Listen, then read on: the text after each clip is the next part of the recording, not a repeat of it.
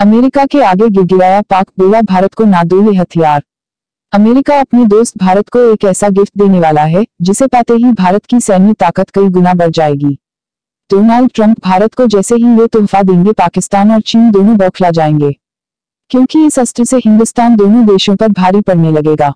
इसी को देखते हुए पाकिस्तान ने अमेरिका के आगे गिड़गिड़ाते हुए इस हथियार को भारत को नहीं देने की मांग की है।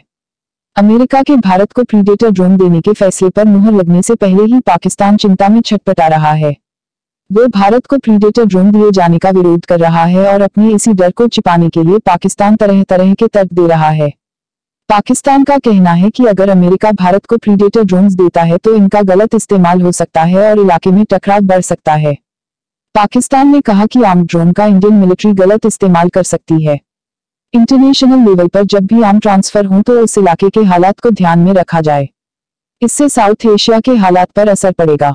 इतना ही नहीं, पाकिस्तान ने यह भी कहा कि इस तरह की किसी भी डील से पहले मिसाइल टेक्नोलॉजी कंट्रोल रिजिम की गाइडलाइंस को पालन किया जाना चाहिए।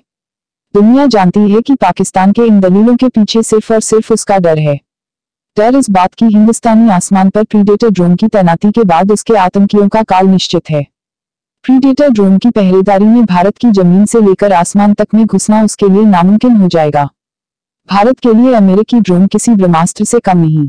अमेरिका के प्रेडेटर ड्रोन्स जेट की रफ्तार से उड़ते हैं। इन ड्रोन्स के मिलने के बाद भारत न सिर्फ़ पाकिस्तान बल्कि चीन पर भी आसानी से नज़र रख सकेगा। देश की सुरक्षा के लिहाज से देखें तो इसके आने के बाद सर्विलांस सिस्टम के मामले में भारत, पाकिस्तान और चीन दोनों से काफ़ी आगे निकल जाएगा। हमें कमेंट करके बताएँ कि इस खबर के बारे में आपकी क्या राय है और इस वीडियो को लाइक करना ना भूलें और इसी तरह की सच्ची खबरें पाने के लिए हमारे चैनल को सब्सक्राइब करें और उसके बाद जो घंटे का बटन आएगा उसे भी दबा दें जिससे कि हमारे हर खबर को सबसे पहले देखने का मौका आपको मिलेगा।